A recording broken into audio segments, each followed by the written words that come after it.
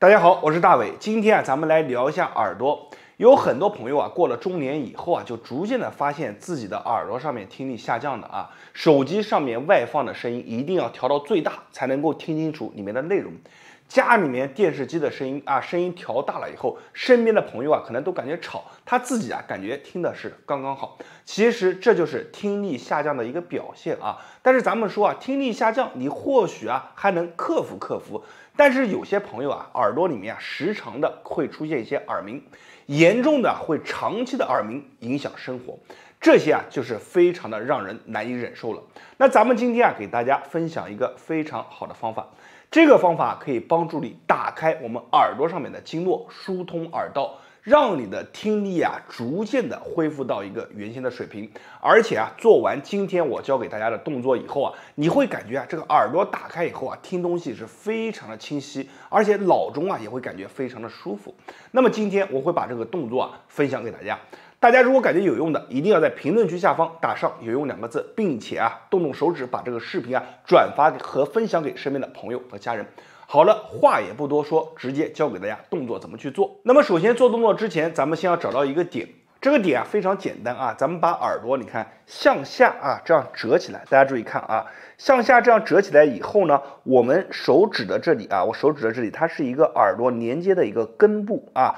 就是这里啊，就是这里，它这个点啊就在这个根部往上，大家可以看一下啊，给大家来一个特写，大家看一下这个位置，我们用大拇指的指尖对上这个点，对上以后往内去点一下啊，不要松，就这样点住，大概三到五秒，你会发现里面啊有一种酸酸的、胀胀的感觉，这个时候呢就证明你这个点啊找对了，找好这个点以后。我们进行一个绕圈啊，就是绕圈，你看去做一个三到五下啊，看一、二，侧面给大家看一下，三、四、五啊。为了让大家看清楚啊，我手这样去做啊，看就这样去绕啊。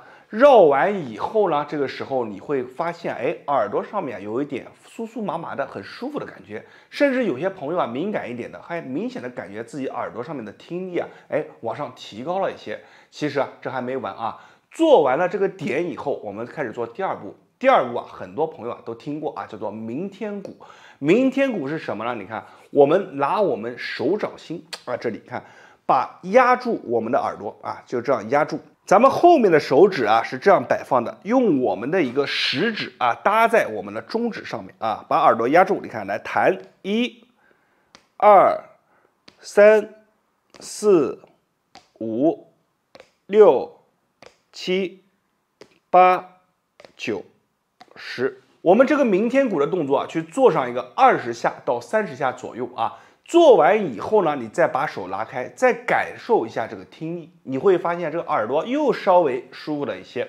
好了，第二步做完了以后，还有最后一步啊，最后一步呢就相当于写一个文章，最后画一个句号。最后一个步是什么呢？我们还是拿手掌啊抵住我们的耳朵，你看，抵住了以后往内去挤压啊，往内去挤压，压住以后啊，微微的手上去做一个转圈啊，就这样去做啊。微微的转，你看做三到五下，一、二、三、四、五，然后来拔。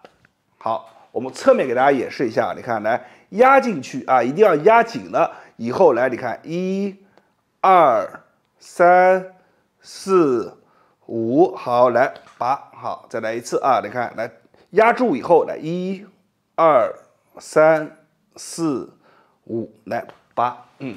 这样呢，我们今天这个动作就做完了。做完以后啊，再感受一下你自己的耳朵，你会发现啊，这个听声音明显的变得更清楚了，而且耳朵里面啊，深层啊，它有一种微微的发热感，这种热感啊是非常舒服的。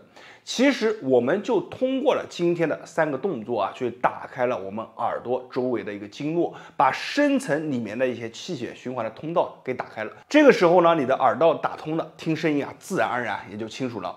我们把这个动作啊，每天做上一个一次，坚持一个七到十四天左右，你会发现你的听力啊，明显比之前会要好上不少。好了，今天这个动作啊，就分享到这里了，希望大家把这个动作转发和分享给身边的朋友和家人。我是大伟，感谢大家的观看，谢谢大家。